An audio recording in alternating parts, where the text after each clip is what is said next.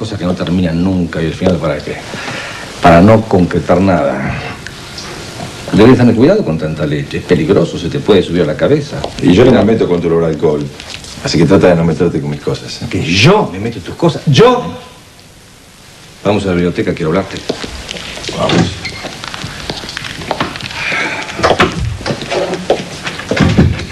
Por tu culpa estoy metido en un lío de padre y señor mío. Y ahora encima tengo que aguantar tus lecciones de honestidad y buenas costumbres. No, pero yo no tengo nada que ver con tus líos, porque nunca me metí con tus negocios. No, no, yo no hablo de negocio. No, no, no. Hablo de esa muerta de hambre que metiste en esta casa que nos va a dejar a todos con una mano atrás y otra adelante. De eso estoy hablando. Ya no tengo nada que ver con el tema Camila. Ah, claro, claro. Te diste cuenta que la chica era un problema y te arrepentiste. Pero qué pedazo de imbécil. No, me abrí porque es un asunto legal que no lo puedo manejar, nada más que por eso. Ojalá se hubiera muerto con los padres, no se habría ahorrado problemas. ¿Cómo puede ser tan especulador? No lo puedo creer. ¿Por qué para juzgarme a mí? Si yo me hubiese casado con Felicia, estarías agachando el lomo como cualquier hijo de vecino. Pero no, no, no, no, no, no, no, no, no, no. El señor es muy fino, muy fino. No, no, no, no, no, no, no. Engatusó a la vieja con el asunto, con el cuento ese de la ecología y ahora anda por ahí domando delfines y llenándose los bolsillos. Sí, pero me lo lleno con decencia. No estoy esperando que Amalia se muera para cobrar su herencia. No, yo no hago nada más que cobrarme lo que es mío. Si no hubiera sido por mí, los habrían comido los piojos a todos. A ver, papá. ¿Qué hiciste cuando murió el padre de Camila? Festejaste porque había uno menos para repartir.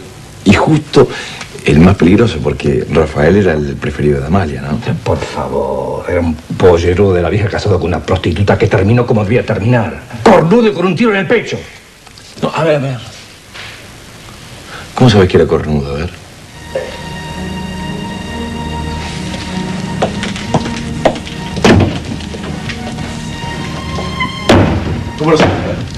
¿Cómo lo sabes? Claro, corrupto, especulador, defraudador al fisco y ahora encima asesino. ¿Qué más me falta para cantar bingo? No te hagas la víctima porque sabes que gran parte de eso es verdad. Ah, claro, seguro. ¿Quién mandó a matar a Cristo? Seguramente no la espada. No la espada mandó a matar a Cristo. No la ¿por qué te- espada. No la ¿Por qué te espada. pones así? ¿Pero qué ¿Por qué te ¿Cómo pones se así meten si eres aquí en mi dormitorio? Porque estoy acostumbrado a ser el chivo expiatorio. Yo no sé qué relación tenías con el padre, pero sé muy bien qué te gustaría hacer con Camila. Pero por favor, esto es una ¿De qué me estás grosería, por favor. ¿De qué me estoy acusando de manejos oscuros, sospechosos, en todo lo que tiene que ver con la nieta de tu suegra. Pero por favor, Lo único que falta que hijo se transforme en mi juez.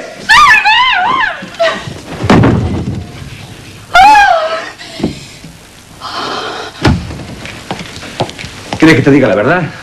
Si por mí fuera, esa chica estaría con un chaleco de fuerza y a cinco metros bajo tierra. Pero seguro, no me extraña si eres capaz de cualquier cosa. Todo el mundo dice lo mismo, pero nadie puede probar. No te confíes tanto. ¿eh? ¡Degenerado! ¡Eres un degenerado! ¿Te das cuenta? Están todos en mi contra. ¿Pero qué es lo que pretendes? ¿Cómo metes a tu hijo en mi cuarto? ¡Nuestro cuarto! ¿Cómo permites que me vean en ropa interior? ¡Impúdico, perverso! Estás completamente loca. Aquí el único loco eres tú. Tienes la mente podrida. Para que sepas, yo soy mujer de un solo hombre. ¿Por qué no me haces un favor y te vas al mismísimo demonio?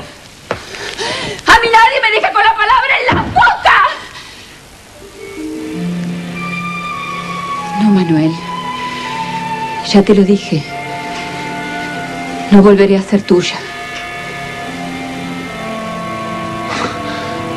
Por favor, Felicia.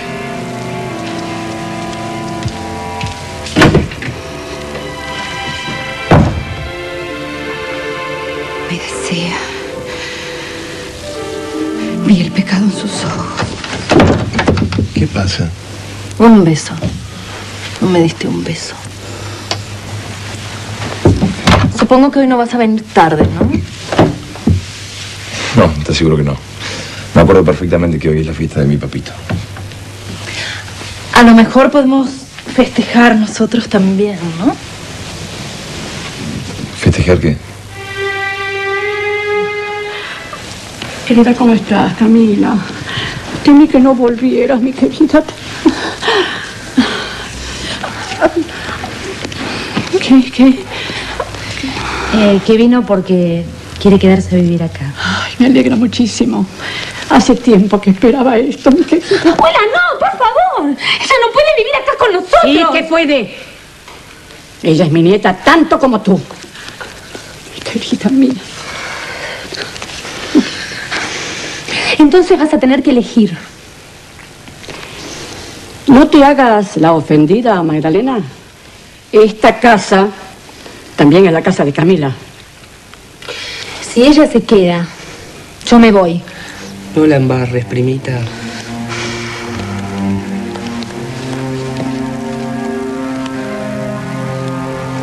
Gotardo, Eh, sí, señora. ayude a Magdalena con su equipaje. Mi nieta se va de esta casa.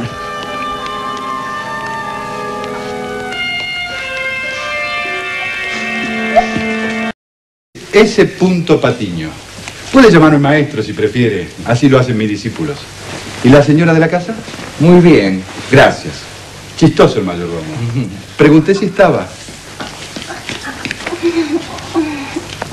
¿Qué dormitorio?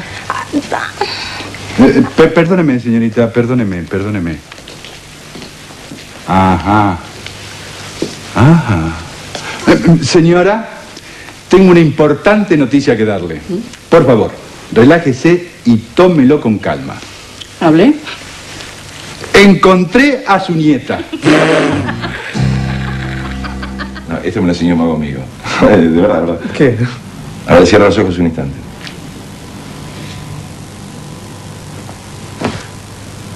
¿Qué, sentiste algo? No, nada. ¿Estás seguro que tu amigo es mago y no carterista? No, es una especialidad en magia que se llama pickpocket. Aprendes a sacar las cosas sin que nadie se dé cuenta. Y hacía mucho que no lo practicaba. Pero no ponete la mano para nada, ¿eh? ¿Cómo se va a poner la gorda cuando sabía que le falta el collar? Nano, al final no me contaste qué pasó con Crista. Que no hay nada que contar. Vamos, Nano, que te conozco. Le pedí que se fuera. No puedes hacer eso, no puedes dejarla así en la calle. No, Sebastián, no me hagas sentir culpable, ¿eh? porque yo no lo estoy dejando en la calle. Puede ir a un hotel, puede ir a lo de su hermana hasta que consiga otro departamento. Además, se hubiese vivado hasta que, antes que se le terminara el contrato, ¿no?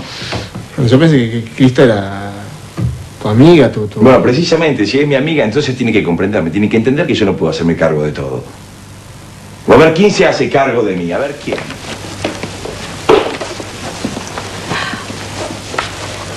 Esta noche hay una fiesta en casa y espero poder dar la sorpresa de presentarte.